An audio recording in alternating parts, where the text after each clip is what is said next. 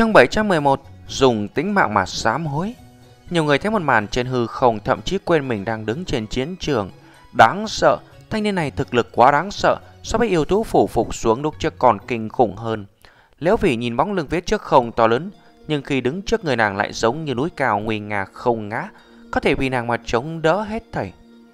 Nàng còn loáng thoáng nhớ tới lần đầu gặp Lâm Phong, Khi đó Lâm Phong xông vào nhất tuyến Thiền Gặp nàng trong nước tù luyện cho nên nàng đuổi giết Lâm Phong.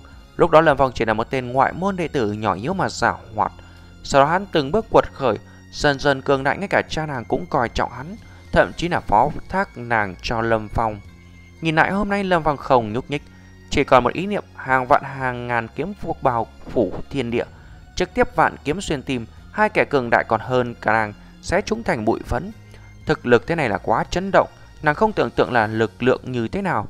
Chuyện này, một cái vòng luân hồi dài xong, trên vương diện võ đạo Lâm Phong đứng ở thế giới khác so với nàng, vượt khỏi tưởng tượng của nàng.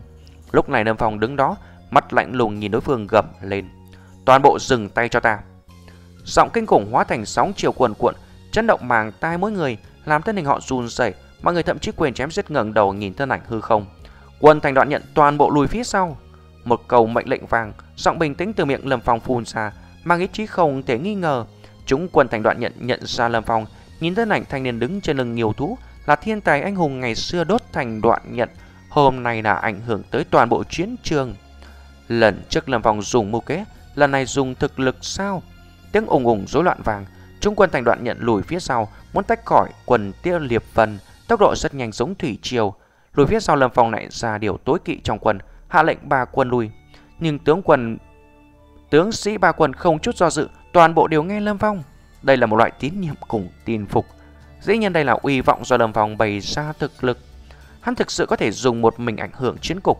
Liễu Phỉ nhìn Lâm Phong lầm bẩm nói nhỏ, cường giả tuyệt thế trần chính có thể lấy sức một người chiến với quân đoàn rầm rộ, giống như là thầy Ma Yết Hàn mà cùng viện trưởng học viện Thiên Nhất, Yên Vũ biển Bình Sinh. Thực lực cường hãn của họ, một mình ảnh hưởng trận chiến, hôm nay Lâm Phong cũng có thực lực này sao?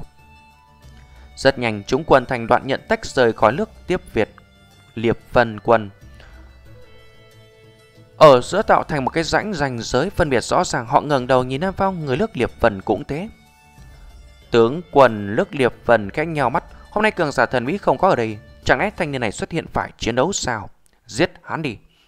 Tên tướng quân quay đầu nói với hai tên cường giả hộ vệ bên cạnh, Là tiếp thân hộ vệ do Hoàng thất Liệp Vân bàn cho hắn thực lực mạnh nhất trong quân đạt tới huyền vũ tầng 6. Hắn không tin Lâm Phong có thể lợi hại bằng hai người này. Nhưng hai người này lộ vẻ nghiêm nghị. Tôi bị họ là huyền vũ tầng 6 cho nên cảm nhận uy áp cường đại của Lâm Phong. Chỉ một cách lúc nãy của Lâm Phong đủ để uy hiếp họ, cho nên bọn họ trở nên cẩn thận không dám khinh thường. Hai người xông trên hư không, nhưng Lâm Phong căn bản không để ý, Lâm Phong đưa tay sờ kiếm cổ sau lưng. Ông ông, một tiếng kiếm mình vàng, sau lưng Lâm Phong một mản máu vọt lên hư không, dường như sông tận trời cao, kiếm ý đẻ nén phóng ra, thanh kiếm lạnh lùng. Hai người mới vọt khỏi khựng người, kiếm ý này là lực lượng ý chí kiếm đạo. Tia sáng màu áo hoàn toàn phóng ra quàng màng khi huyết kiếm rời vào, thiên địa tràn ngập kiếm ý vô tận gạo thét. Luồng ý chí kiếm đạo khủng bố này từ trên hư không ép xuống ép cho người ta không thở nổi. Hai người vọt lên hư không chằm chằm nhìn một màn này thân không tiến tới. Không tốt, hai người hạ xuống chậm rồi, mọi người chỉ thấy huyết kiếm trong tay Lâm vòng chậm rãi vùng, Hai tia kiếm quang màu máu xoẹt qua hư không, thân hình hai người trực tiếp bị chém đứt, máu tươi hóa thành dòng máu đỏ, không ngừng chảy trong huyết kiếm. Huyết kiếm lại uống máu. Hai cường giả huyền vũ tầng 6 là vòng giết chúng chỉ một kiếm, một kiếm tùy tiện. Không gian trầm mặc một hồi, một kiếm này đối với quần thành đoạn nhận chính là chấn động cùng hưng phấn khát máu, mà đối với người liệp vân thì là chấn động sợ hãi. Gào, Chờ mặc trong chốc lát, tiếng giống chấn động thiên địa theo quần đoàn thành đoạn nhận vang, bọn họ muốn phát tiết bị phẫn trong lửa giận lòng. Đã từng một phương nước ma Việt cùng nước Điệp Vân, có một nam tử thần bí giết người vô số, không ai chặn được, mấy vị tướng quân cũng bị kẻ này giết hại. Hôm nay bên phía họ rốt cuộc xuất hiện một anh hùng lấy sức một mình phá vỡ chiến cuộc. Lúc tiêu liền tung hoành ngàn dặm cứu công chúa, một mồi lửa giết mấy chục vạn quân nước ma Việt, hôm nay trường thành trở lại thành linh hồn ba quân là chiến hồn. Người tham dự trận chiến này các người là dùng sinh mạng mà sám hối, lấy máu các người tế điện những tướng sĩ chúng ta chết đi. Lâm Phong chậm rãi nói, Ý chí kiếm đạo tràn ngập túc sát chi khí, phối hợp với giọng lạnh lùng quá làm vô số người run nảy bẩy. Dậm chân Lâm Phong vò ra, hít sâu một cái, ý chí kiếm đạo vô cùng vô tận dường như muốn xé rách trời cao, dùng tính mạng mà sám hối đi. Nháy mắt Lâm Phong lộ ra tia quang màng khát máu, cúi người nhẹ giọng giết. Giết giết. Giết giết giết. Từng tiếng giết của Lâm Phong chấn động trời cao, thiên địa rối loạn một bảng, sờ xác tiêu điều. Vô tận kiếm khí gào thét hóa thành kiếm quang thực chất, đánh về phía quân đoàn nước Niệp Vân. Xé rách từng đạo sinh mệnh giống như cắt cỏ, từng tên quân sĩ nước Niệp Vân ngã xuống liên tục, tiếng gào thét sợ hãi không ngừng vang. Giờ khắc này sinh mạng lại yếu ớt như thế, nơi kiếm đi qua không kẻ cản, chết toàn bộ đều bị chết. Kiếm quang vô tận kia dường như không có điểm cuối, ý chí kiếm đạo trên người Lâm Phong phóng ra áp xuống, khoảng khắc ngắn ngủi, máu tươi nhuộm đỏ đại địa, tiếng vó ngựa rối loạn không ngừng. Liễu Phỉ cùng quân đội thành đoạn nhận giải ra nhìn màn này, Lâm Phong không chỉ ảnh hưởng tới chiến cuộc, rõ ràng là dùng một người chu diệt mấy chục vạn quân sĩ đối phương. Họ chỉ nghe lời đồn đại võ tù cường đại là dùng lực bổ núi giết người như giết chó, giận dữ giết ngàn vạn người. Hôm nay là Trần Chính hiểu được, đó không phải là câu chuyện hư cấu. Hôm nay Lâm Phong dưới cơn nóng giận, máu chảy thành sông, nơi hàng vạn hàng vạn kiếm quang đi qua kẻ nào cũng bị giết. Khi mà kiếm quang tràn ngập, túc sát tiêu tán, mọi người có cơ hội thở sốc trong khoảng khắc, nhưng ngẩng đầu chỉ thấy Lâm Phong dùng hai tay lần kiếm, ánh mặt trời chiếu rọi lưỡi kiếm, trên huyết kiếm đột nhiên một cái vầng mặt trời chói mắt. Quang màng màu máu xẹt qua hư không, vô tận kiếm quang từ hư không chém xuống. Phàm là người bị kiếm quang màu máu chém qua, toàn bộ ngã xuống trực tiếp bị chém nát, không kẻ sống sót, mà những người khác cũng bị dọa cho vỡ mặt. Bọn họ là thấy được lực lượng chấn động như thế. Đại quân vài chục vạn người trước mặt Lâm Phong giống như trò đùa cỏ rác dễ dàng chu diệt. Những người còn sống là gục trên đất, trên người đầm đìa mồ hôi, họ là phải dùng sinh mệnh trả giá giá mối cho chiến dịch này. Tên tướng quân nước Liệp Vân run lầy bầy, giờ khắc này là hiểu được ánh mắt tướng quân Ma Việt khi tách ra, diệt thành đoạn nhận, sau đó thuận thế đi xuống. Đợi cho họ không phải là mở rộng biên giới, mà là hủy diệt, cường giáo đen thần bí kia cuối cùng cũng không xuất hiện lại. Giết! Nam vong vùng huyết kiếm, chỉ phía Ma Việt, vó ngựa chạy trồm, sát khí cuộn trào, ba quân thành đoạn nhận điên cuồng lao lên, xích huyết thiết kỵ dẫm nát đất, đạp trên thi thể quần niệp phần chu diệt tàn quần đánh mất ý chí đấu. Nơi đi qua không chỉ không còn người sống, kiếm chỉ ma Việt.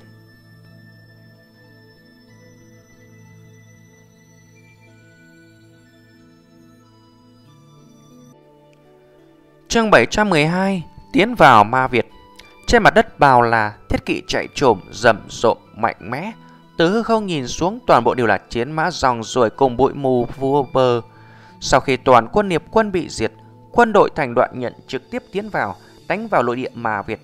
Nơi đi qua không có một ngọn cỏ, tất cả mọi người tránh né, một chi quân đoàn mấy vạn người ai dám cả Trong hư không một đầu hung thú màu đỏ khổng lồ, vỗ cánh bập bùng, mỗi lần vỗ cánh liền là vọt đi ngàn thước, cũng tạo thành mảng gió lốc.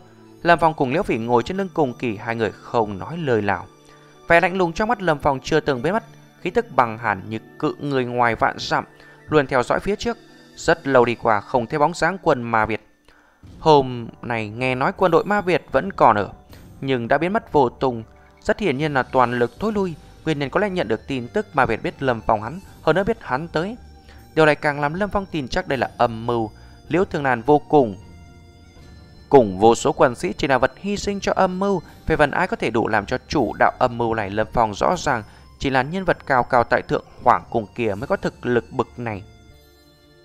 Cùng kỳ gào thét mà đi, chốt rừng chưa có dừng lại lửa khắc, không ngừng lấn sâu nước mà việc. Trước mắt Lâm Phong xuất hiện dãy núi mênh mông, vùng núi này cực kỳ quỷ dị, toàn bộ tịch mịch, một luồng khí màu đen đáng sợ phóng lên cao, nhuộm đen bầu trời dường như là bên trong toàn bộ yêu tà. Nhìn dãy núi xuyên qua tầng bụi mù tịch mịch, mơ hồ thấy bóng sáng quân đội Ma Việt hình như bố trí trận pháp. Thì khí cùng huyết khí đáng sợ thế kia, nước Ma Việt là dùng bao nhiêu mạng người bố trí trận pháp. Lâm Phong lạnh lùng nhìn, nhảy lên mở miệng. Người cùng cùng kỳ nơi này, một mình ta đi là được. Lời vừa ra thân hình cùng kỳ dừng ở hư không mà Lâm Phong trực tiếp thâm nhập trong khói đèn tả ma khí. Phật ma lưu chuyển không ngừng, trên người Lâm Phong lóe ra một cái tầng kim quang. Phật quang phổ chiếu vạn trượng thiên địa, chiếu sáng cả vùng không gian. Dưới ánh sáng mạnh mẽ này chu tà bất xâm, những khói đèn đáng sợ kia thậm chí thối lùi, ánh sáng Phật đạo thánh khiết yêu tà không thể tới. Liễu Phỉ nhìn thân thể Lâm Phong hóa thành đại Phật màu vàng rất kinh ngạc. Lâm Phong rốt cuộc là kinh khủng tới bậc nào, thân thể hóa thành kim Phật, vạn trượng Phật quang, tinh lọc chu tà. Mang theo ánh sáng Phật đạo, Lâm Phong trực tiếp xông vào vùng núi rừng bị khí tức tà ác ăn mòn. Trong miệng hắn không ngừng phát ra phạn văn, thiền Phật ấn hóa thành từng đạo thủ ấn màu vàng giết ra, nháy mắt từng tiếng gào thảm thiết vang, sương mù tác tiêu tán. Kiếm quàng đáng sợ bắt đầu tàn sát bừa bãi, là vòng hóa thành thân thể Phật đà màu vàng, đột nhiên xuất hiện vô số kiếm khí xé rách tất thảy. Đồng thời linh hồn ý thức khủng bố của Lâm Phong phóng ra, nhưng hắn phát hiện trận pháp trong dãy núi sương mù này giống như cái động không đáy, không biết sâu cỡ nào. Người bố trí trận pháp này tuyệt đối không thể nào là quân sĩ ma Việt. Giết! Lội giận gầm lên một tiếng kiếm quang vô tận, tàn sát tứ phía, muốn xé màn khí tà ác. Hắn tăng tốc hướng phía trước, nhưng khí tức tà ác càng ngày càng thịnh. Theo tiếng gầm, khí tức tà ác hóa thành thì lòng lao phía hắn, mở miệng khổng lồ đầy thi khí như muốn nuốt hắn. Vạn vằn trong miệng không ngừng phun ra, quang mang màu vàng chiếu lên thân cốt long, làm cho thi khí trên người cốt long dần bị bốc ra. Thân hình nó quang màng tước đoạt, nhưng cốt long này hình thành từ thi cốt chi khí, không biết thống khổ cùng tử vong, vẫn điên cuồng đánh phía Lâm Phong. Lâm Phong nhảy lên một bước trực tiếp xông vào miệng cốt long. Vật quang màu vàng chu tà bất xâm, cốt long luốt Lâm Phong vào bụng. Nhưng ngày sau đó, ngày sau đó, theo một cái luồng kiếm quang xé lát hết thảy, thân thể cốt long hoàn toàn hóa thành thi cốt chi khí mà tan biến vô ảnh vô tung.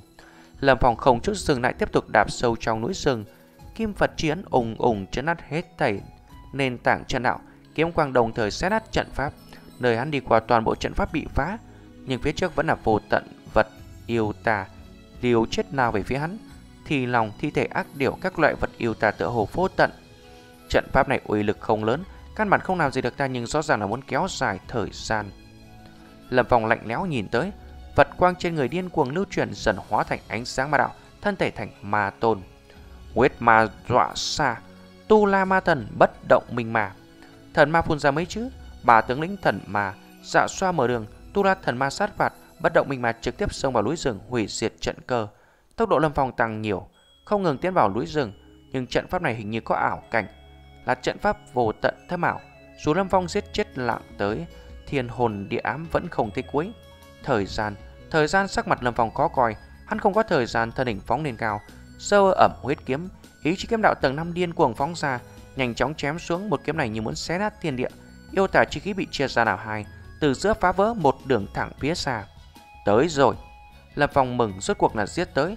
Theo con đường mà huyết kiếm bổ ra, đi về phía trước tịch diệt chi khí vô tận dần tiêu tán, lộ ra núi lòn rõ ràng, mặt đất vô số thi thể. Trước mặt Lâm Phong là sườn núi, lấy sườn núi làm trung tâm toàn bộ là quân lính Ma Việt, đại quân Ma Việt đều ở đây. Trên sườn núi một thân ảnh mang áo tướng lĩnh, bà thân thể treo trên đài hành hình, ba người rõ ràng là Liễu Thương Lan nhậm kinh quần cùng phòng Vũ Hàn. Mắt Lâm Phong không biểu lộ chỉ có rét lạnh vô cùng. Đại quân dướng mắt nhìn Lâm Phong, người này thật to gan, dám lấy sức một mình đánh thẳng đại quân mà Việt quá lớn mật. Đều chết đi. Ẩm huyết kiếm trong tay lần nữa giơ lên, vô tận kiếm khí như muốn xé nát thiên địa, cảm nhận kiếm khí đáng sợ, toàn bộ đại quân kinh hoàng. Kiếm đạo chỉ này thật đáng sợ, kiếm chưa chém xuống mà đã muốn chém nát họ. Giết, một màn kiếm quang màu máu từ trên chém xuống như chém ngang thiên địa, hóa thành vô số tia kiếm quang giết về sườn núi, trong khoảng khắc máu tươi vô tận vậy trên không trùng phiêu tán khắp nơi, một kiếm tử thương vô số. Chỉ một kiếm này làm cho chúng quân Ma Việt lộ ra thần sắc khủng hoảng. Chuyện gì xảy ra? Thanh niên này sao đáng sợ như vậy toàn bộ đều chết, thi thể bạt ngàn. Lâm Phong đương nhiên không để ý tới khủng hoảng trong chúng, giờ này là quang mang màu máu phóng lên, chém vào mảng thiên địa, vô số tiếng kêu thảm thiết vang, kèm theo đó là máu tươi lở rộ. Quân đội mà Việt thật sự khủng hoảng rồi, đây là chuyện gì sao? Còn có tướng quân đâu? Lâm Phong đạp bước hư không, từng bước tiến về sườn núi. Tướng lĩnh trên sườn núi là sợ hãi nhìn Lâm Phong. Chuyện gì thế này không phải lần này nói là có thể chặn giết toàn bộ quân Tuyết Nguyệt sao? Vì sao xuất hiện một thanh niên mạnh thế vậy? Một nhóm cường giả huyền vũ cảnh đánh phía Lâm Phong, nhưng Lâm Phong túy vùng kiếm vẽ lên nhất thời. Những người đánh về phía Lâm Phong toàn bộ bị giết sạch. Cường giả huyền vũ cảnh cũng không chịu nổi một kích. Khủng hoảng quân ma Việt chân chính lâm vào khủng hoảng. Ai có thể nói cho bọn hắn biết tại sao lại vậy? Cường giả thần bí kia giờ này ở đâu? Rầm, ùng ùng, đại địa chấn động, bụi mù tung đầy trời. Theo lối giữa núi lon, quân đội Tuyết Nguyệt cũng xung phong giết lên. Trận pháp bị phá, vùng núi này dễ dàng vượt qua. Lâm Phong bỏ phí khá lâu là vì chưa phá vỡ trận pháp mà thôi. nhìn Lâm Phong nắm kiếm giết quân Ma Việt. Hai mắt mọi người đỏ bừng. Giết, người Ma Việt toàn bộ đều phải giết sạch. Giết, từng tiếng giống giận vàng thấy thi thể của tướng quân treo ngược phía trên, xích huyết thiết kỵ giống như điên cuồng trực tiếp giết vào trong quân đoàn Ma Việt. Muốn xé rách huyết nhục bọn chúng, Lâm Phong thì bước từng bước lên sườn núi, những tướng lĩnh kiều đều rút lui phía sau, bọn chúng là chìm trong khủng hoảng. Lâm Phong dừng tay. Bên mà Việt một cái thanh ngầm quen thuộc truyền tới, Lâm Phong cựng người ngẩng đầu nhìn thấy một thân ảnh trẻ tuổi gấp gáp vọt tới sắc mặt phi thường khó coi.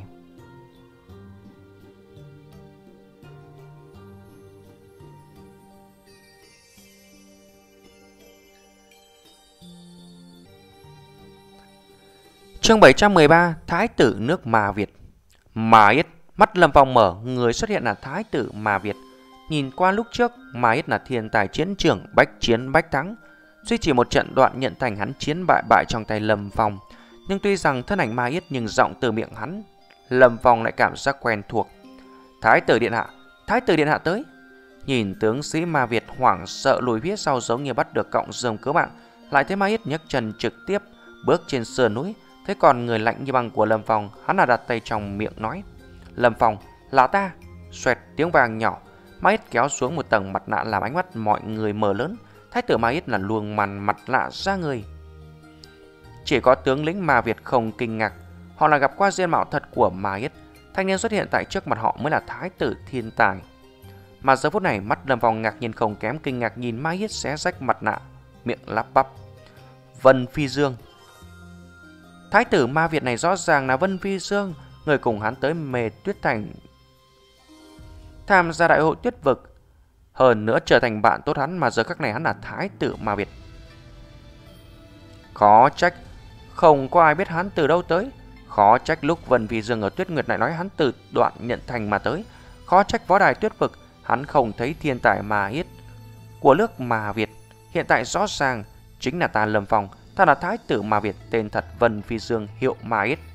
Vân Phi Dương sắc mặt bình tĩnh giải thích, khiến hai nước ngây ngẩn. Tướng lĩnh Ma Việt ngây ngẩn người, Lâm Phong là và thái tử Ma Ít dường như quen biết. Thái tử bọn họ chính là đoạt được vị trí thứ 10 đại hội tuyết vực, vô cùng cường đại nhất định có thể bảo hộ họ. Mặc dù là người, ba vị tướng quần như trước không chết với họ toàn bộ phải chết. Mắt Lâm Phong lạnh như bà nhìn trăm Vân Phi Dương, nếu việc này là người gây lên, người cũng phải chết. Lâm Phong, hắn là đem Vân Phi Dương coi như bằng hữu, nhưng bằng hữu biết rõ quan hệ hắn và Liễu Tương Nàn còn muốn giết, vậy không bằng hữu. Nếu là ta gây lên cũng không cần người nói ta cam nguyện chịu chết. Đối với việc này Vân Phi Dương sắc mặt ầm trầm khó coi. Ngày xưa cùng Liễu Tương Lan và Lâm Phong gặp nhau trên chiến trường, hắn không biết quan hệ giữa Lâm Phong và Liễu Tương Lan. Nhưng hôm nay quân đội hắn lại giết Liễu Tương Lan. Về phần bọn họ không cần người tới giết. Vân Phi Dương lạnh như bằng, quét mặt Nhìn tướng lĩnh mà Việt một cái khiến nội tâm họ hung hăng run rẩy. Họ do cảm giác thái tử điện hạ trước mặt Lâm Phong dường như bị vây ở thế yếu, thậm chí có thể nói căn bản đứng phía Lâm Phong. Thùng thùng, Vân Phi Dương lện bước tới chỗ thi thể ba vị tướng quân trước đài hành hình. Nhìn thi thể Liễu Thương Lan ở giữa, hai đầu hơi cong trực tiếp quỳ dạp. Cảnh tượng này khiến ánh mắt chấn động. Đầu Vân Phi Dương nện mạnh xuống đất, va chạm mãnh liệt phát ra tiếng vàng thùm thụp. Lúc ngẩng đầu lên chán Vân Phi Dương có đá máu, Tướng quân chinh chiến xa trường 20 năm, hiện giờ chết oan trong tay quân nhân nước Ma Việt ta. Nước Ma Việt Vân Phi Dương thẹn với tướng quân. Tiếng nói vừa dứt, đầu Vân Phi Dương lần nữa nện xuống, giọng âm trầm truyền ra lần này va chạm mãnh liệt. Lực cười, Vân Phi Dương ta lúc rời đi, từng cùng tướng quân đàm luận quốc sự, mời tướng quân cùng ta đồng mưu nghiệp lớn. Tướng quân dù chưa từng đáp ứng, nhưng Vân Phi Dương cùng tướng quân vẫn trở thành bạn vong niên. Nhưng lực cười thay kết quả như vậy, Vân Phi Dương ta thẹn với tướng quân. Dứt lời là một cái đập đầu mạnh lớn. Mọi người nhìn ngay người. Ma Việt quần ta bị người ta lợi dụng. Làm ba vị tướng quần chết oan, Liên lụy tướng sĩ ba quần tử thương vô số, Lại thành toàn cho người khác là lỗi Vân Phi Dương. Vân Phi Dương ta thẹn với tướng quân. Dứt lời mắt Vân Phi Dương hiện sát khí lạnh lùng. Thân thể chậm rãi đứng lên, Đem hành hình đài chém rách, Cẩn thận đem thi thể ba người đặt ngang. Làm xong việc đó, Vân Phi Dương lần nữa tới trước mặt Lâm Phong. Tay hắn xuất hiện hai phòng thư, Hai phong thư phòng cách khác biệt. Mắt Lâm Phong lóe lên tiếp nhận bào thư Mở ra lập xem Mắt là không khỏi chăm chú nhìn Hai phong thư là phong cách xuất phát từ hai người Một phong trong đó rõ ràng là Thái tử mà Việt mà Yết Mà người còn lại là giọng điệu liễu thương nan Vân Phi Dương và Liễu Thúc thường xuyên thư từ qua lại. Đúng như Vân Phi Dương nói, Vân Phi Dương hắn và Liễu Thương Lan kết giao bằng hữu. Trong thư, họ không có chuyện gì không nói. Trong thư Vân Phi Dương nói qua muốn mời Liễu Thương Lan rời Tuyết Nguyệt, kết hợp cùng với quân Ma Việt. Một ngày kia đánh vào Hoàng thành Tuyết Nguyệt. Hơn nữa, khi đó, hắn nguyện đem Tuyết Nguyệt giao cho Liễu Thương Lan thống trị. Tuy nhiên Liễu Thương Lan cự tuyệt cũng không nói thêm, chỉ là đơn giản cự tuyệt. Lâm Phong đây là phong thư cuối cùng ta nhận được từ tướng quân, Hà Nạt tuyệt bút khi tướng quân còn sống. Nực cười khi ta trở lại ma Việt liền bế quan tu luyện, nếu không tướng quân cũng không chết. Vân Phi Dương cầm phong thư, giơ tay giao cho Lâm Phong. Bao thư mở ra, Lâm Phong lấy được, đọc, hiển viết tung bay. Mà yết, không, lần này ta gọi người là Vân Phi Dương đi. Có lẽ đây là phòng thư cuối cùng ta đưa người. Sinh thời Liễu Túc có thể kết giao với Lâm phòng cùng người. Hai vị đồng dạng là thanh niên tuấn tài thiền phú tuyệt luân. Coi như không uổng công đời này, ta từng cự tuyệt người vô số lần. Thực sự không phải bởi vì Tuyết Nguyệt, bởi vì Tuyết Nguyệt ta sớm chết tâm. Nhưng mà ta không có bỏ được chính là mảnh đất thành đoạn nhận này. Nơi này vô số huynh đệ ta bỏ ra nhiệt huyết. Nếu ta quay lưng phản bội chính là làm cho nhiệt huyết họ chảy xuống vối. Trước khi một ngày ta chết đi. Phi Dương, sau ngày người xem xong phòng thư, nếu có cơ hội giúp ta chuyển cho Nâm Phong, nếu như một ngày ngươi có thể có cơ hội thấy phòng thư này, ta nghĩ nhất định Tiểu Phong rồi. Về phần kế tiếp là lời ta muốn nói với Tiểu Phong. Tiểu Phong, nếu một ngày ngươi thấy được phòng thư này chứng minh ta chết, không cần hoài nghi Vân Phi Dương, cái chết của ta nhất định không quan hệ tới hắn. Nếu không quan hệ với Vân Phi Dương như vậy, người giết ta không thể nào là ma Việt. Người nước ma Việt giết không được ta, cho nên không cần tạo ra quá nhiều sát nghiệp. Người ám hại ta chắc chắn chỉ có người tuyết nguyệt. Tiểu vong không cần báo thù cho ta, nhưng người nhất định phải nhớ kỹ, đừng cho hai huynh đệ của ta. Giống ta vì tuyết nguyệt mà đổ máu, không đáng, chiếu cố tốt phi phi. Đây là vướng bận tốt nhất của Liễu Thúc. Xem từng chữ phong thư, thân thể Lâm Phong khẽ run, người ám sát Liễu Thúc sẽ chỉ có thể là Tuyết Nguyệt. Nhảy lên thân thể Lâm Phong nhảy vào hư không đem phong thư sao cho Liễu Phỉ nói. Là chữ Liễu Thúc sao? Liễu Phỉ đem phong thư xem hết thân thể hùng hằng run rẩy. Là chữ yết phụ thân không sai. Giọng Liễu Phỉ lộ ra mấy phần run rẩy, giết người của bọn họ chỉ là Tuyết Nguyệt. Lâm Phong, ta sẽ cho người câu trả lời. Vân Vi Dương thấy ánh mắt Lâm Phong nhìn hắn, mắt hắn giống như là đại đào sắc bén quét qua tướng sĩ Ma Việt lạnh lùng nói.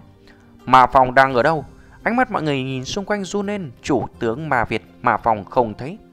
Mà Phong, lăn ra đây, giọng Vân Phi Dương trầm xuống, mắt quét qua đám người vô tận, lập tức bóng người bay lên hư không, mặc giáp tướng sĩ bình thường, người lại là tướng sĩ Ma Việt Ma Phong. Thái tử điện hạ. Ma Phong bước đến sườn núi, nhìn Vân Phi Dương khom người mắt bình tĩnh. Từ khi người nào từ khi nào người bắt đầu phản bội Ma Việt Vân Phi Dương lạnh như băng Mặt Ma Phong hiện mỉm cười lắc đầu. Không ngờ Thái hư tử điện hạ đích thần tới. Ma Phong biết khó lòng thoát chết. Về phần bao nhiêu năm hẳn là tử nằm nằm trước đi. Là vị nào tuyết nguyệt? Vân Phi Dương hỏi lại. Là vị nào đem người xếp vào đại quần nước Ma Việt ta 5 năm Cho tới hôm nay mới gầy dối hại chết? Vài vị tướng quần tuyết nguyệt Hai chết vô số tướng sĩ thành đoạn nhận đồng dạng hại chết vô số tướng sĩ niệm phần cùng Ma Việt ta. Rốt cuộc là vị đại nhân nào tuyết nguyệt tầm cờ sâu như thế, mưu kế tàn nhẫn như thế?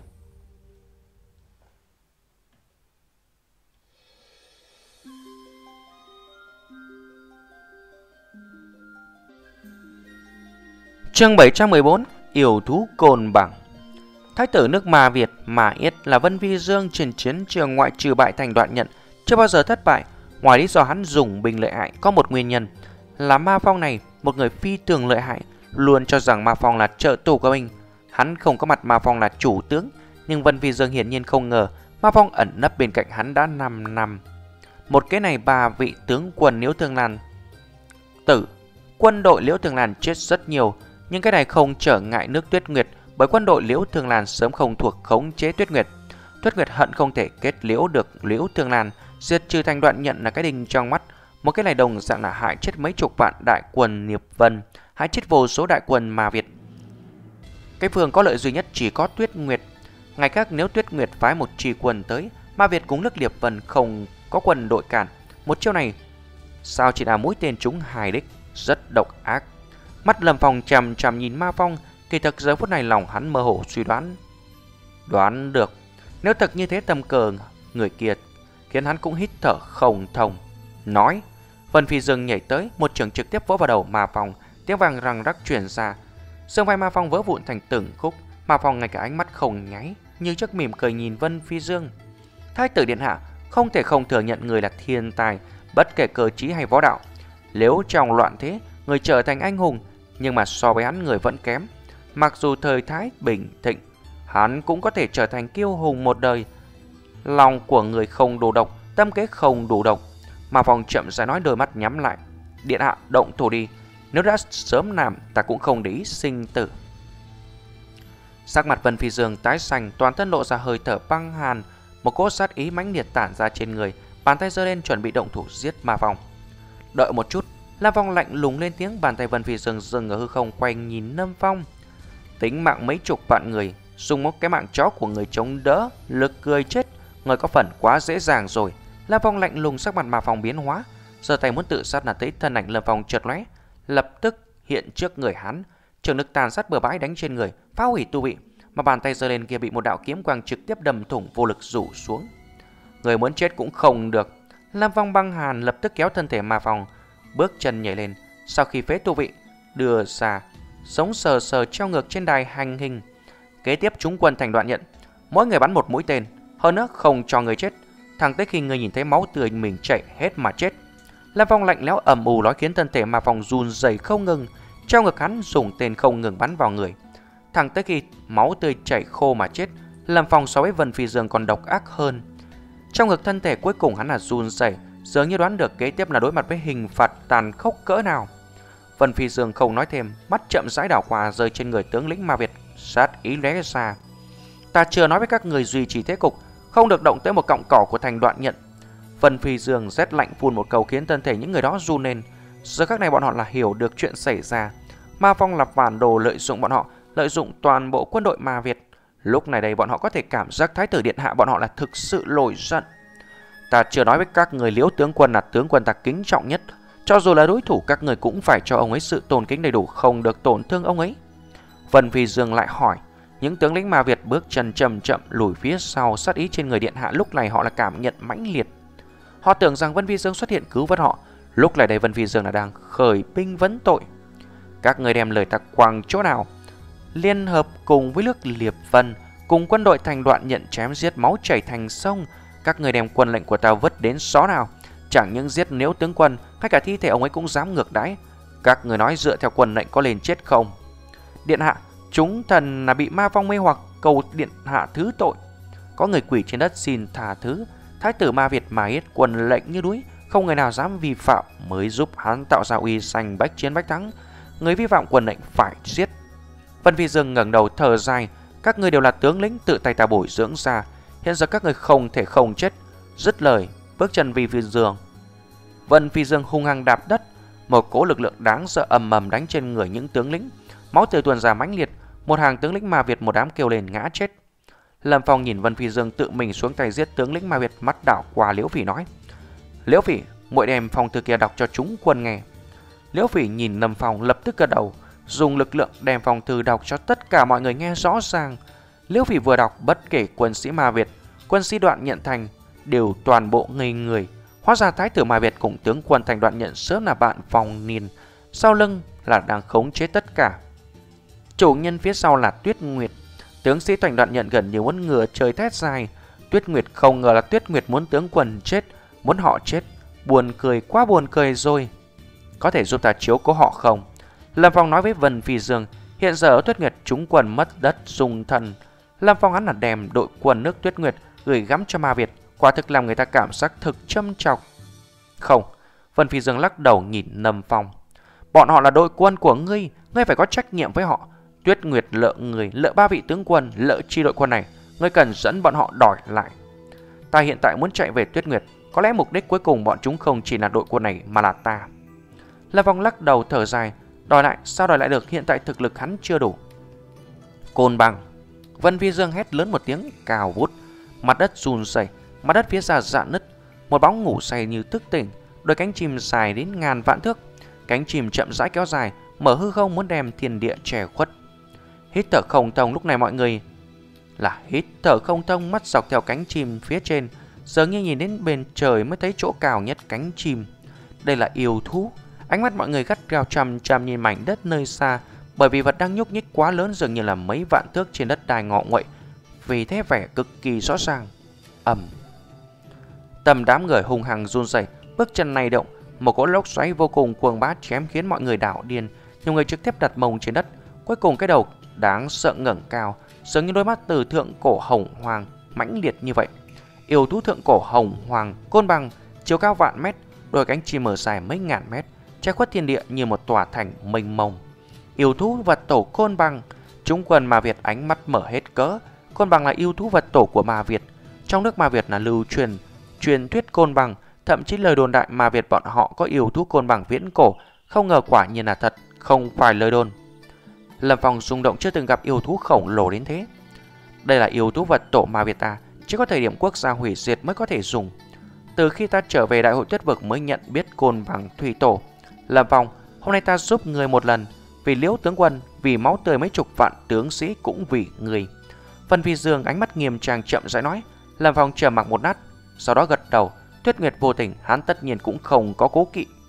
Côn bằng thủy tổ, ủy khuất người rồi. Vân Phi Dương xoay người hướng côn bằng khẽ khom người, cánh chim côn bằng chấn động, chiến mã trỗi dậy, nháy mắt côn bằng là liệt tơi liền đi đến. Trên không đám người, đem ánh sáng che hết như thể là bóng dâm vô cùng rộng lớn. Thân thể chậm rãi hạ xuống, thân côn bằng này đủ để chứa mấy vạn thiết kỵ.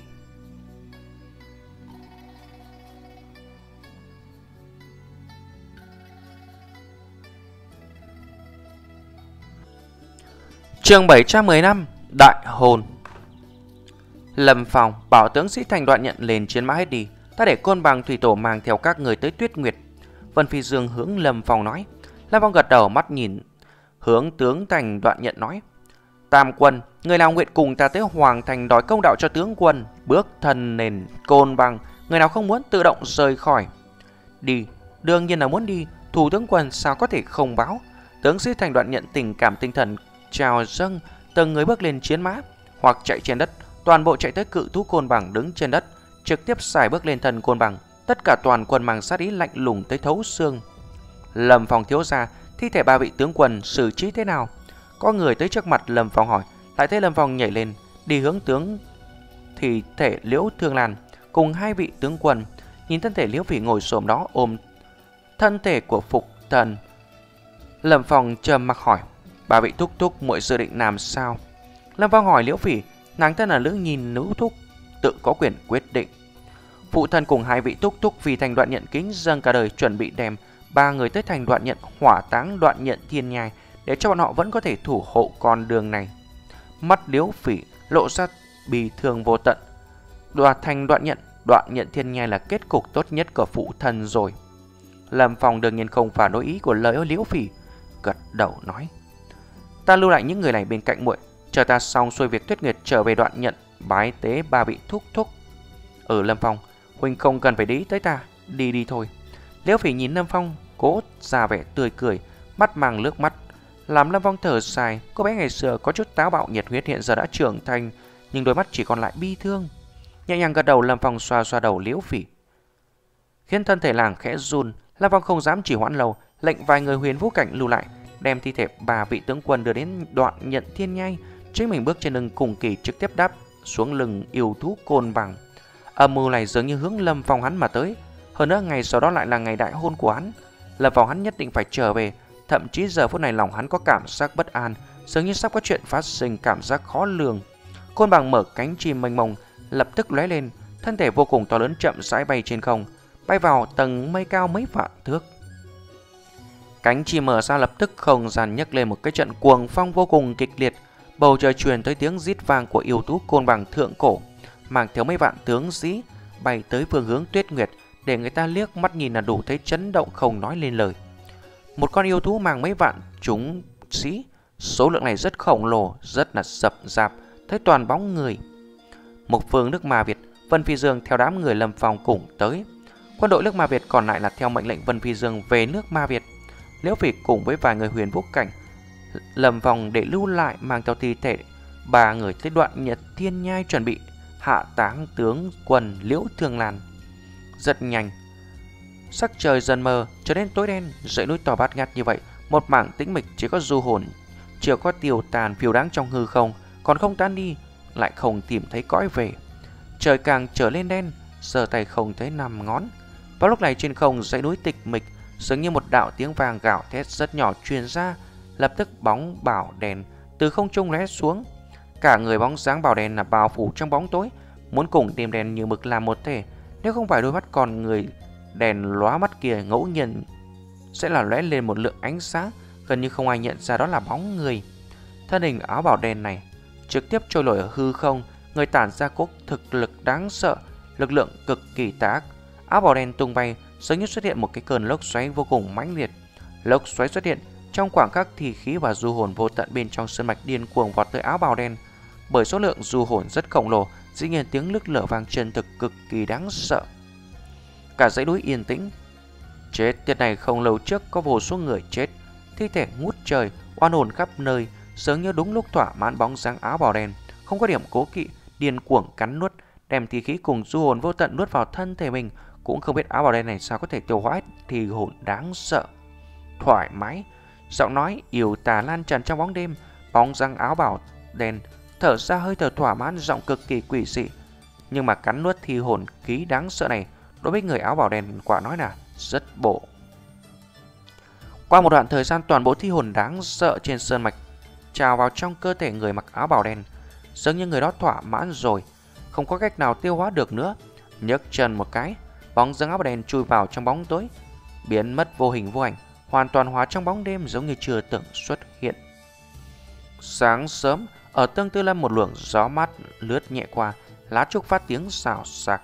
Lâm Hải và Nguyệt Mộng Hàng ngẩng đầu nhìn mặt trời, mắt lướt qua một tia lo lắng. Hôm nay là đại hôn của Lâm Phong. Tiểu Phong còn chưa trở lại nên làm gì bây giờ? Nguyệt Mộng Hà nói nhỏ một tiếng. Ngày đại hôn là chiếu cáo thiên hạ. Hôm nay mang theo thành thế hùng dũng tới Hoàng Thành đón sâu. Tất cả mọi người chuẩn bị tốt.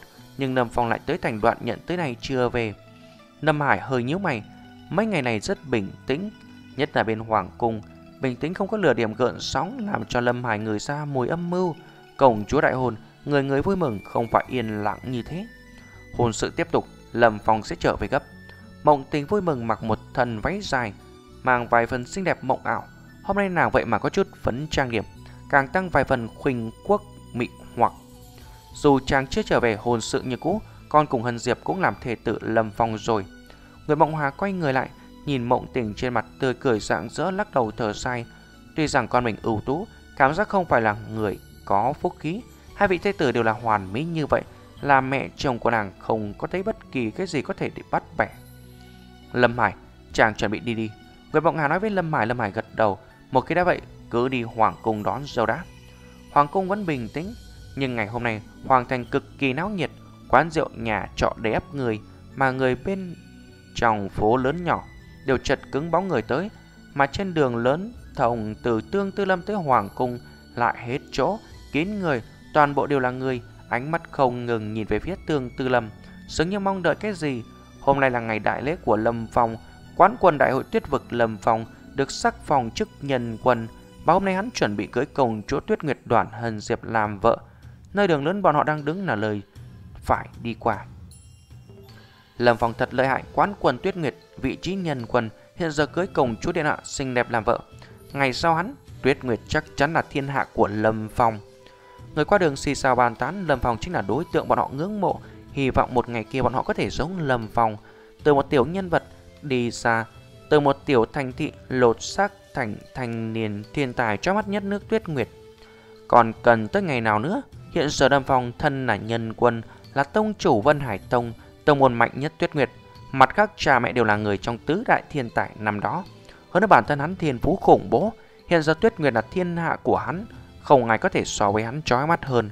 Chờ qua vài năm thực lực hắn tới đỉnh phong, không người nào có thể áp chế. Lại có người đáp lại, tuy nhiên lúc này trong quán rượu một thanh niên mặc áo đen, phẩm rượu trong chén nghe vậy là không khỏi chen lời. Chiếu như lời ngươi như vậy, người hoàng cùng Tuyết Nguyệt có thể dung nạp Lâm Phong được sao? Một lời đơn giản khiến ánh mắt mấy người đàm luận nhíu lại. Vì một câu kia đột ngột hỏi khiến cho họ lâm vào hỏi.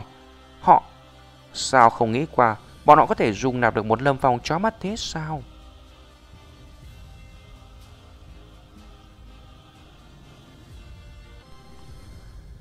Trường 716 u ám bao phủ không trung. Trên bầu trời mây đen cuồn cuộn, trên không nước tuyết nguyệt bị một mảng tầng mây u ám cuồn cuộn bao phủ, bao phủ toàn bộ tuyết nguyệt. Trong hoàng thành mọi người ngẩng đầu nhìn, thấy mảnh u ám dày đặc, mắt hơi nhíu, khi trời thật âm trầm, sáng là mất sức sống, trở nên vô tình hẳn. Hơn nữa, ngay cả gió lướt nhẹ qua cũng dường như mang tầng khí âm hàn. Diễn tấu trên người mọi người, nhưng lại là cảm giác một tia lánh ý nhẹ nhẹ. Khí trời thật cổ quái. Mọi người ngẩng đầu nhìn trời thầm lắc đầu, xem ra vận khí lâm phòng không tốt lắm. Nghĩ không tới chọn một ngày khí trời âm trầm như vậy đại hôn. Lúc này, đội ngũ đón dâu trùng trùng điệp điệp quy mô vô cùng lớn. Người Vân Hải Tông không có đi thành đoạn nhận, đều ở nơi này. Hơn nữa, phía trước còn có yêu thú mở đường, đạp trên đất phát ra tiếng ra vang ầm ầm. Mọi người đồng loạt tránh đi, đứng hai bên đường lớn xem. Không hổ là ngày đại hôn của Lâm Phong. Nhân quần tuyết nguyệt, khí thế thật lớn à. Nhưng vì sao không thấy Lâm Phong đâu? Nàng kia là ai? Đẹp quá. Cái ánh mắt mọi người dừng trên bóng người khác, trên người váy dài hỷ phục, đều sững sờ. Đẹp, thật đẹp, dùng nhàn thánh khiết như tiên tử, dường như không nhiễm khói lửa nhân gian, mà giờ khắc này tiên tử lại phủ thêm bụi trang. Khoác váy dài hỷ phục đại hôn muốn trở thành thê tử phạm nhân. Bất kể nam tử hay nữ tử khi thấy thì là ánh mắt thật lâu không thể rời khỏi, lòng thật lâu không thể bình tĩnh. Tiền tưởng như vậy, phủ thêm đồ cưới đẹp dường như là muốn cảnh sắc đẹp nhất trong thiên địa cũng mất vốn hòa vốn có của nó. Lỡ tử như nàng không nên thuộc về Trần thế, hiện giờ đã muốn gả cho phàm Trần. Nếu là có thể cưới nàng làm vợ, dù bảo họ ngày hôm sau đi chết cũng có người nguyện ý. Nàng chính là cô gái Lâm Phong yêu nhất trong lời đồn đi. Đẹp quá so với công chúa còn đẹp hơn. Lâm Phong tuy là nhân quân nhưng cũng đủ. Mọi ánh mắt cảm thán trong lòng nhìn dòng người cuồn cuộn chậm rãi đi qua phía trước mặt. Nhưng mà đôi mắt họ là thủy chung không rời khỏi dung nhan khuynh quốc khuynh thành. Giờ phút này tiên tử trong mắt họ khiến cho nhật nguyệt thất sắc. Mặt tiên tử mang nụ cười nhẹ nhàng, một chút thản nhiên khiến vẻ đẹp của nàng tuyệt thế ngẩng đầu nhìn thoáng qua sắc trời âm trầm, mộng tình dừng lại một lát, sau đó lại cười. Trời như vậy đã sao?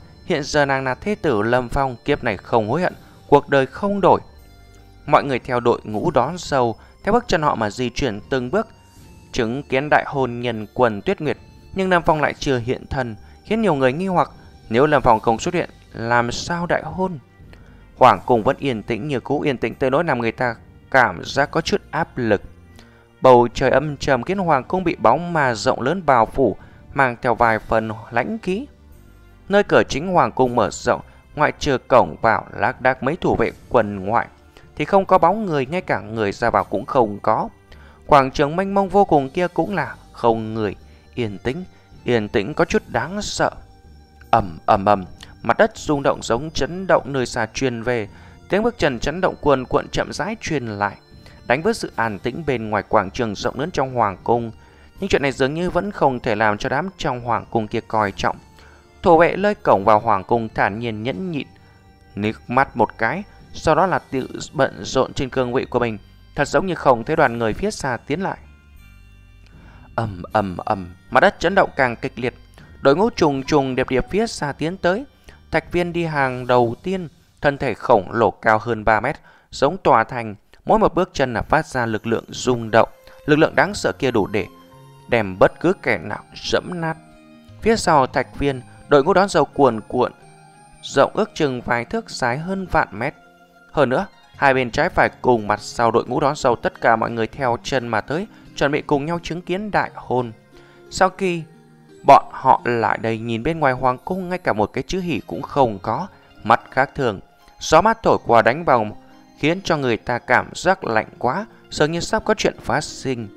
Trước mặt là cảnh tượng quỷ dị, hôm nay là ngày đại hôn công chúa, nhưng thời điểm đội ngũ đón dâu cuồn cuộn tới, hoàng cung lại lạnh lùng không có lửa điểm phản ứng, không ai nghênh đón, thậm chí giống như không người biết chuyện này. Họ là không thấy bất cứ vật hỉ, khánh cát tường trưng cho đại hôn. Người đón dâu đương nhiên là thấy một màn quỷ dị, nhưng bước chân thạch viên vẫn là ổn định như trước. Một bước dẫm xuống đất là chấn động âm âm, đội ngũ hùng mạnh cũng chỉ an tĩnh đi theo, không ai để ý khung cảnh dị thường thậm chí không ai nói nhiều một câu. Thời điểm toàn bộ đội ngũ bước vào quảng trường, trong hoàng cung cuối cùng dường như có tia động tĩnh, tại giữa giọng nói chấn động hỗn loạn phảng phất có tiếng vàng cồng xa truyền lại. Rất nhanh từ hoàng cung, một hàng người trùng trùng điệp điệp xuất hiện, cuối cùng là có người từ hoàng cung ra. Những người này nguyên một đám khoác tuyết long bào, uy vũ không tầm thường, giống xa quỳnh cùng xa hoan, phụ thân xa quỳnh. Phục sức cực kỳ uy nghiêm là tượng trưng cho đội quần trần chính tình nghệ nước tuyết nguyệt, tuyết lòng vệ, người trong đó toàn bộ là cường giả huyền vũ cảnh. Tuyết lòng vệ, nhìn vào hàng đội ngũ hùng mạnh ánh mắt cứng đờ, từ sau khi Lâm Phong quật khởi, bát đại công tử tranh đấu, nhóm cường giả xa quỳnh xa hoàn hiện thân, tuyết lòng vệ cũng không còn là bí mật. Người nào của tuyết nguyệt cũng biết, trong hoàng cung có cố lực lượng cường đại đáng sợ. Nhưng tiến tới ngành đón đội ngũ đón dầu sau là tuyết lòng vệ, có thế lực ngầm hùng mạnh nhất tuyết nguyệt. Cửa chính hoàng cung mở hết cỡ, thị vệ cảnh giữ bên ngoài cửa chính hoàng cung, giờ phút này toàn bộ quỷ xuống đất cùng kính cúi đầu một câu không dám nói. Mà từ trong cửa một hàng người chậm rãi đi ra, một hàng bốn người, ba người phía sau mặc tuyết lòng bảo. Bất quá mấy người này có chút khác biệt với đội ngũ mặc tuyết lòng bảo đi trước. Nhìn kỹ phát hiện đám người tuyết long vệ xuất hiện lúc đầu chia ra 9 đại đội. Mỗi đại đội là có người cầm đầu trên tuyết long bảo in hình màu bạc. Mà lúc này ba gã đang đi ra cũng là tuyết long bảo nhưng in huy hiệu màu vàng. Người có tuyết long bảo in huy hiệu màu vàng là thống lĩnh tuyết long vệ giống xà hoàn. Mà người có tuyết long bảo in huy hiệu màu vàng là thống soái tuyết long vệ. Bà thống soái thuộc hạ trực tiếp dưới chướng người thanh niên đi trước họ. Thanh niên kia mặt hống hách toàn thân lộ khí vách vương xả. Thái tử đoàn vô đạo, mắt mọi người cứng đờ. Bóng người này đi ra rõ ràng là thái tử điện hạ nước tuyết nguyệt, bá đạo hống hách, người thuận thì sống nghịch chết đoạn vô đạo. Lâm Phong đạt được quán quân đại hội tuyết vực, mà đoàn vô đạo lấy được vị trí thứ hai, đoàn vô đạo bị Lâm Phong áp chế. ầm vang, bước chân thạch viên đập vào trên đất, mặt đất sụp nổ. Nứt toác, xuất hiện một khe hở lớn, bước chân thạch viên cũng ngừng lại, toàn bộ đội ngũ đón dâu phía sau ngừng lại. Xoẹt xoẹt, từng giọng nói vang, tiếng bước chân, tiếng trường vào phiêu động không ngừng vang. Sau đó chỉ thấy bốn phía quảng trường mênh mông, liên tục có bóng người không ngừng trào ra, bóng người vô tận, có người mặc phục sắc bất đồng, là người mặc một loại phục quần sĩ. Đáp lại đám người kia sau khi trực tiếp vây quanh đám đội ngũ đón dâu, đem quảng trường mênh mông bao bọc. Sao lại thế này? Xảy ra chuyện gì? Đám người đi theo mà tới rất nhiều cũng bị vây ở trong, ánh mắt hoảng sợ. Đây rốt cuộc là chuyện gì? Hôm nay không phải là ngày đại hôn của Lâm Phong. Tiến đến Hoàng Cung cầu hôn sao? Sao lại vậy? Thời điểm đội ngũ đón sau đi vào Hoàng Cung lại bị một người khác vây chết. Những người đó lộ ra ánh mắt bất thiện khí thế hùng ác. Nước tuyết nguyệt đây là muốn xuống tay với Lâm Phong. Tầm mọi người run rẩy đón dầu đem công chúa đàn hâm diệp cả cho Lâm Phong. Nực cười cái này cơ bản là chuyện cười. Thái tử tuyết nguyệt đoàn vô đạo bị Lâm Phong áp chế là vòng thậm chí có phòng hiệu danh nhân quân. Ngồi ngang hàng với quân vương, hoàng cung thật có thể dùng nạp hắn.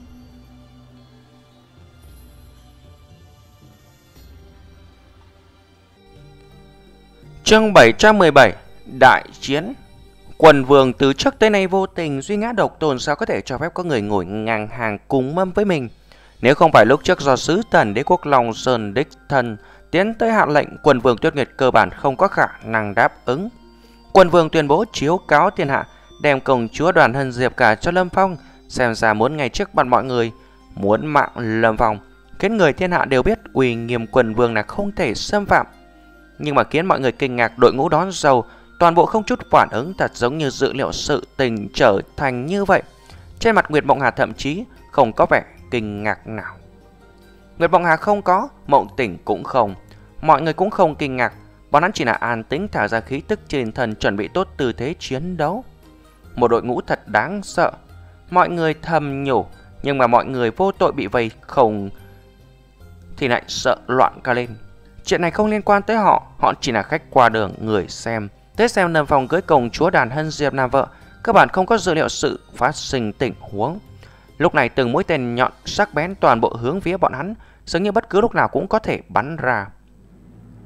Người không liên quan toàn bộ cút. Giọng hống hách lạnh ra từ miệng đoàn vô đạo vàng. Sau đó là mọi người đều ồn ào, toàn bộ hỗn loạn trốn tránh ra phía sau núp phía xa quan sát. Hoàng thất cùng đội ngũ đón dâu hùng mạnh động thủ sao? Đoạn thời gian trước, Lâm Phong mang Vân Hải Tông lấy uy nghiêm vô thượng diệt vũ ra cùng vạn tu môn, Mà hiện giờ Hoàng thất chẳng lẽ muốn diệt Vân Hải Tông, diệt Tương Tư Lâm? Thực lực Vân Hải Tông và Tương Tư Lâm hiện giờ cũng là khủng bố. Dù Hoàng thất muốn diệt cũng không đơn giản như vậy đi. Nếu không cũng không cần thái tử đoàn vô đạo tự mình mang toàn bộ tuyết long vệ hiện ra chỗ này. Nguyện Mộc Hà bước chân chậm rãi tiểu sái ra, Nhìn đoàn vô đạo lạnh lùng. Hoàng thất lật lọng, Muốn gả công chúa cho Lâm Phòng Hiện giờ là muốn thiết lập mưu độc ác như thế. Các người đem uy nghiêm hoàng thất vứt gió nào, Lại là để thanh danh hân diệp ở đâu? Lòng Nguyệt Mộng Hà phẫn nộ Phẫn nộ hoàng thất vô gì Phẫn nộ hoàng thất căn bản không đem một đoàn hân diệp là công chúa, Mà chỉ coi là công cụ cho họ lợi dụng. Từ xưa tới nay, thắng làm vua, thua làm giặc. Một đám ô hợp các người cũng muốn đánh đồng cùng hoàng thất chúng ta. Việc kết thành thông gia chỉ là một bên tình nguyện mà thôi. Giọng đoàn vô đạo lộ ra hống ngách ý, Lạnh lùng nói Bàn tay giơ lên lập tức đám người vây quanh đội ngũ đó dầu toàn bộ căng dây cùng phát ra tiếng vang nhỏ. Rống. Thạch viên nổi giận gầm lên một tiếng, điên cuồng đánh vào đầu ngực. Bước chân đạp trên đất, đất núi rung chuyển, các kiều thú khác bắt đầu chuyển động, thân thể yêu xa cư đại hướng đám người cầm tiền đánh tới tốc độ cực mau.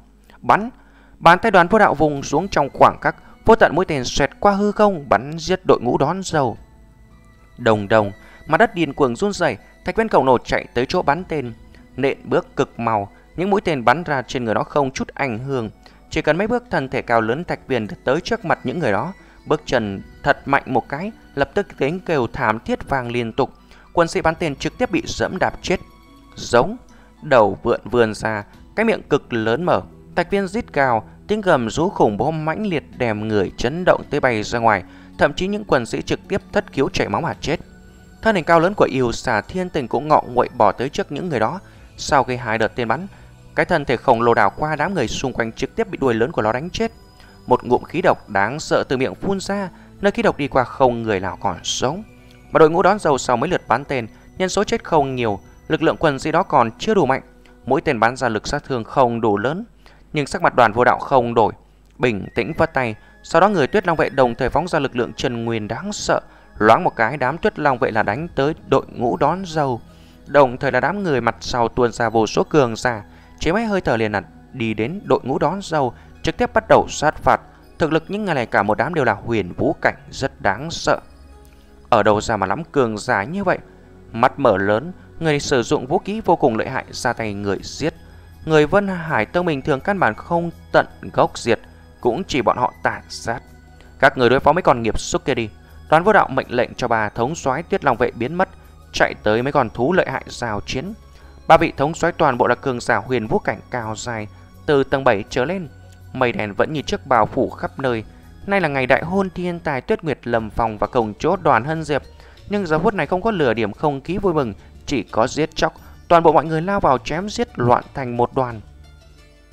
lầm phòng lại chưa xuất hiện, xem ra lúc này đây Vân Hải Tông và Tương Tư Lâm sắp hỏng bét.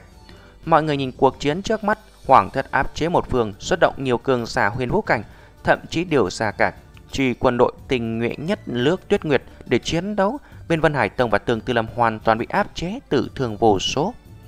đoạn nhân hoàng, hắn có ra không? Mắt Nguyệt Mộng Hà chăm chăm nhìn đoàn vô đạo lần nữa lạnh lùng hỏi. Đối phó các người còn không cần. Đoàn vô đạo lánh đạm đáp một tiếng một luồng khí tức đáng sợ từ người hắn tản ra, hống hách mặt sắc bén lộ ra vài phần khí công kích bảo Lâm Phong lăn ra đây đánh với ta một trận. Trên người đoàn vô đạo bừng lên chiến ý. Lần trước bị Lâm Phong đánh bại hắn nhất định phải đòi xỉ nhục. Đổ bại trận, người không xứng mời Tiểu Phong ra chiến đấu với người. Hừ, trong tứ đại thiên tài năm đó, nhân hoàng đứng đầu.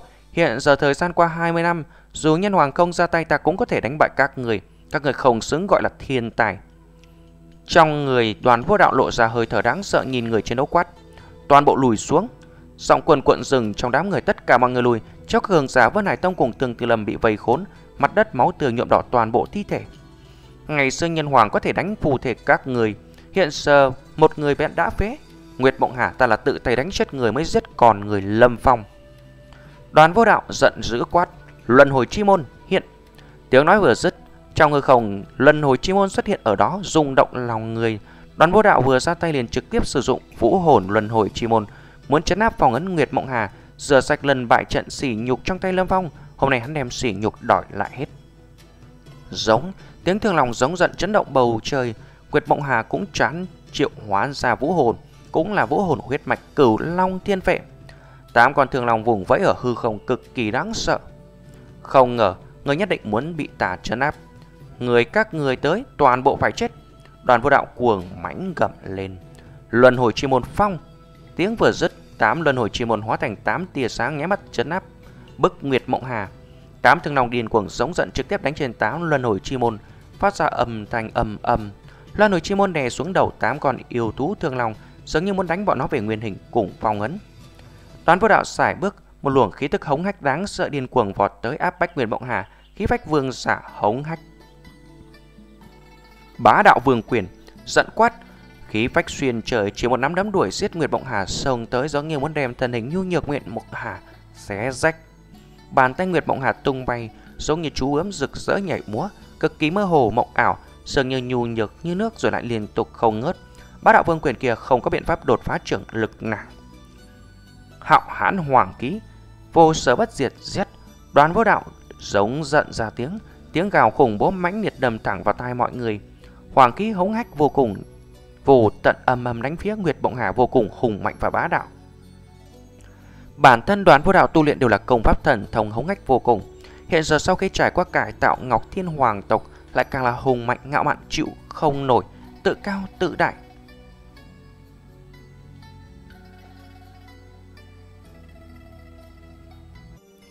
Chương 718 Ân oán tình thủ Đoàn vô đạo thực đáng sợ Mọi người thấy đoàn vô đạo ra tay kinh hãi. Tôi bị huyền vũ cảnh tầng 9 Lại thêm vũ hồn phong ấn chi môn, Cùng công pháp thần cùng đáng sợ bá đạo không gì địch nổi. Nhưng trên võ đài thi đấu tuyết vực, Đoạt vị trí số 1 lại không phải đoàn vô đạo, Mà là Lâm Phong, Vậy thực lực Lâm Phong kia cường đại tới đâu?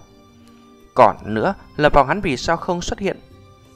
Tường tử tử Túy tương tư Tương tư trưởng, Thân thể Nguyệt Mộng Hà như mộng ảo, Trưởng ấn tung bay Khiến người ta rơi vào tương tư màng ý chí tương tư, Muốn dung hòa phá đi lực lượng bá đạo khủng bố của đối phương. Bá đạo hoàng kích kia càng ngày càng yếu tới cuối cùng tiêu tan thành vô hình, Tương tư trí tràn ngập khoảng hư không. Hừ. Đoàn vô đạo hư lạnh lại bước tới, hét lớn. Bá đạo vương quyền. Giật lời, Tiếng ầm ầm truyền ra, quyền ý vô cùng vô tận đánh ra. Vòng xoáy khủng bố xoắn giết người sau lưng Nguyệt Mộng Hà năm đấm bá đạo đáng sợ rơi xuống. Đoàn vô đạo chưa bỏ qua lại là bước tới. Ý chí phòng ấn khủng bố dường như muốn vây giết Nguyệt Mộng Hà. Ngọc Thiên Táng giết. Bàn tay to lớn áp bước xuống dường như có phần mộ đèn Đánh về ép Nguyệt Mộng Hà. Muốn mai táng Nguyệt Mộng Hà trong đó.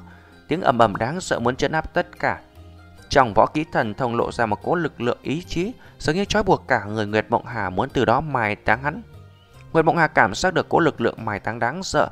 Dường như hít thở không thông, Phong ấn chi môn trong hư không rung động muốn đánh xuống cực kỳ đáng sợ. Đúng lúc này một cố khí tức đáng sợ đột ngột tràn ra, Khí tức này xâm nhập mọi nơi bào dùng tất cả.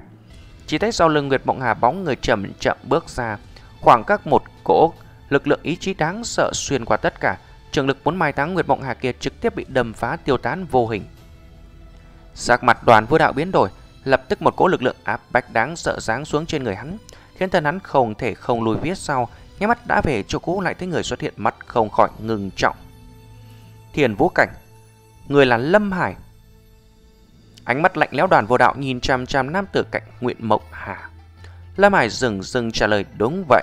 Khiến đồng tử con người co rút. Lâm Hải, một trong tứ đại thiên tài ngày trước, đột phá trói buộc huyền vũ cảnh, Bước vào thiên vũ. Lâm Hải, Từ xa sâu trong hoàng cung, Giọng cuồn cuộn truyền tới. Ngày trước ta phong ấn người, Đuổi ngươi rời hoàng thành. Không ngờ hôm nay người đột phá trói buộc trong lòng, Bước vào thiên vũ cảnh. Nhưng thế thì sao? Dù ngươi đã bước vào thiên vũ cảnh, Ta cũng có thể phong ấn người một lần nữa. Người nói cuồn cuộn vừa dứt, Thân ảnh mờ ảo từ xa, Huyết xuất hiện trong tầm mắt mọi người. Đầu đội hoàng quan, Người khác hoàng bào, Không phải quân vương mà là đoàn nhân hoàng. Đoàn nhân hoàng, Người vẫn vô sỉ như đó. Lâm Hải thốt nên lạnh lùng. Hừ. Đoán nhân hoàng hừ lạnh. Dùng mười mấy năm đánh tàn cho bực trong lòng mới bước vào thiên vũ cảnh mà thôi Tới hoàng cung ta đề thân. Lâm Hải lần trước ta phong ấn người Lần này ta muốn mạng người. Đoán nhân hoàng nói không sai. Lâm Hải tu bị bị phong ấn lại có vướng mắc trong lòng Khiến hắn mãi không thể đột phá trói buộc Không thể đột phá cảnh giới. Mãi tới lúc hắn trở lại hoàng thành Tới khi Lâm Phong dần quật khởi, mới là khắc gỗ tĩnh tâm, rèn ý chí tinh thần bản thân, khiến tâm linh không còn chấp niệm. Sau đó Lâm Phong là giành quán quân thi đấu tuyết vực. Lâm Hải hắn cuối cùng là đột phá trói buộc, cảnh giới đột phá đến thiên vũ cảnh. Hồn phách cường đại tự nhiên là phá được phong ấn khiến tu bị Trần Chính bước vào thiên vũ cảnh. Không chỉ hắn, nếu thêm thời gian Nguyệt Bộng Hà cũng có thể bước vào thiên vũ cảnh. Đoàn nhân hàng, đừng nói ta, ngươi thì sao? Sắc mặt Lâm Hải lạnh lùng từ từ nói. Làm đó bốn người chúng ta mộng hà vô tình, còn ta gặp gỡ kết rào, trở thành bạn bè. Anh em tốt nhất, cùng nhau lang bang, tới một ngày có được thì thể của thiên yêu và đoạt thiên linh thảo trong cửu long sơn mạch. Mà kẻ làm đại ca như ngươi thì làm gì? Lén lút một mình sử dụng sau khi tăng tu bị mạnh. Mặt mũi đuổi theo mộng hà, truy sát chúng ta, đoàn nhân hoàng. Người lòng không có quỷ sao? Nếu thực không có quỷ, người cũng không chỉ dừng lại ở tu vị này. Cầm miệng, đoàn nhân hoàng gào lên, sóng ầm cuồn cuộn tràn đầy tức giận khiến mọi người run sợ. Bốn người bạn bè tốt nhất, ra là chuyện 20 năm trước lại phức tạp đến thế. Họ nghe nói chỉ là lời đồn, thẹn quá hóa giận sao? Xem ra ngươi tu luyện bào làm cũng chẳng hơn gì thế này. Không ngờ nhiều năm như vậy chúng ta bỏ quên chuyện năm đó mà hôm nay ngươi lại vô sỉ quay lại. Lâm Hải trầm miến, sắc mặt đoàn nhân hoàng lạnh lẽo chậm rãi bước tới, ngự không mà đi, mặt quan sát đám người Lâm Hải lạnh lùng vô tình. Lâm Hải chuẩn bị chết đi, lực lượng ý chí đáng sợ trên người đoàn nhân hoàng tràn ra, ý chí trên người cũng là lực lượng ý chí phòng ấn, nhưng hắn là tiên vũ cảnh so với đoàn vô đạo, không biết mạnh hơn bao lần. Lúc này mọi người ở dưới chỉ cảm thấy không thể động đậy, dường như là bị phòng chết toàn bộ. Lời vừa chấm dứt thân thể đoàn nhân hoàng từ hư không ép xuống, lực lượng phòng ấn bá đạo mà đáng sợ phóng thích toàn bộ. Nam Hải bước tới một bước, thân thể bay lên, khí tức cuồn cuộn ép tới đoàn nhân hoàng, hai cơn lốc đáng sợ và chạm giữa không trung. Phong, đoàn nhân hoàng tức giận hét, một cỗ lực lượng bạo tạc đáng sợ va chạm vào không trung, thân thể Lâm Hải lập tức cứng đờ, bị ý chí phòng ấn đáng sợ phòng giữ thân thể hai người, cuối cùng vẫn chênh lệch quá lớn. Nguyệt Bọng Hải im lặng bay lên trời, lực lượng sát phạt cũng phóng phía đoàn nhân hoàng. Mặt lạnh lẽo đoàn nhân hoàng nhìn phía nàng lạnh lùng quát. Ngày trước người lựa chọn sai lầm, hôm nay vẫn cứng đầu cứng cổ như vậy, vậy cùng chết đi. Khí tức vương đạo vô cùng vô đạo vô biên, tử hư không đè ép xuống. Một cái vòng ánh sáng vô cùng to lớn đè ép thân thể hai người Lâm Hải cùng Mộng Hà, lực lượng chấn động mà bạo bá đạo đánh cho hai người bay xuống đất, ngã thẳng xuống đất. Hai người bọn họ cơ bản không phải đối thủ của đoàn nhân hoàng. Vùn vút, phương xa kiếm khí lăng thiên bắn tới, trực tiếp chém về đoàn vô đạo. Vừa mới lời ra rồi là thấy tới trước người đoàn nhân hoàng.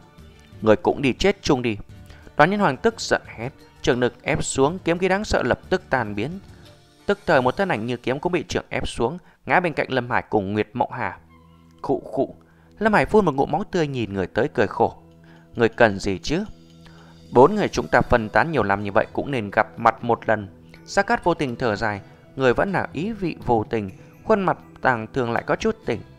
Hay, hay lắm. Gia Cát vô tình, lúc đầu ta không phải là không cho người cơ hội, nhưng các người đều chống đối ta vậy hôm nay đều chết.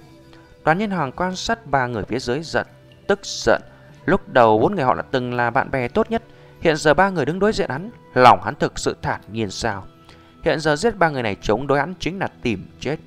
Ba người lâm hải đưa mắt nhìn nhau lở ra nụ cười. Vô tình, năm đó ta giành mộng hả, người không trách ta chứ. Nếu thực sự trách người ta là không bảo vệ con ngươi. Sa cát vô tình lắc đầu nhìn miệt mộng hà. Bộ dáng tươi cười là rực rỡ đành chuồn chặt tình yêu sâu đậm vào trong lòng. Không ngờ ba người chúng ta lại chết trong tay hắn. Mộng hà đứng lên quay đầu nhìn mộng tình. Mộng tình, nhất định phải an toàn rồi đi. Mọi người đều rời tuyết nguyệt đi. Lâm Hải và Gia Cát vô tình hiểu ý Mộng Hà, họ đứng lên trên người ý muốn chết. Cho dù chết cũng phải oanh oanh liệt liệt, chỉ tiếc rằng liên lụy nhiều người thế vậy. Hiện giờ Lâm Hải và Nguyệt Mộng Hà không an tâm, nhiều nhất chính là Lâm Phong cùng Mộng Tình. Tốt, muốn chết ta giúp các người. Trên người đoàn nhân hoàng hiện ra cố sát ý đáng sợ, ánh mắt lạnh lẽo vô cùng, một cỗ khí tức hủy diệt tràn ngập không trung để ép mọi người không thể thở mạnh. Tứ đại thiên tài năm đó lẽ là phải chết ba người trong đó để kết thúc ẩn oán sao?